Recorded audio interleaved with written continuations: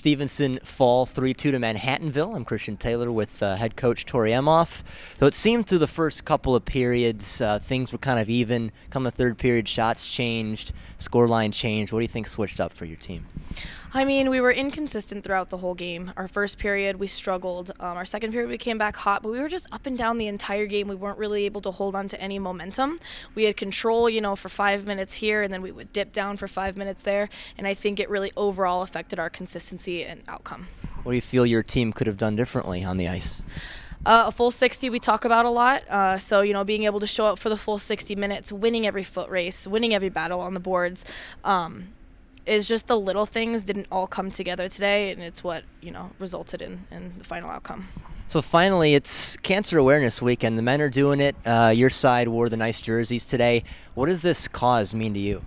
you know, we're just trying to do, you know, something for the greater good. Obviously, cancer affects everybody in the entire world, and we kind of veered away from the pink the rink and more towards cancer awareness overall.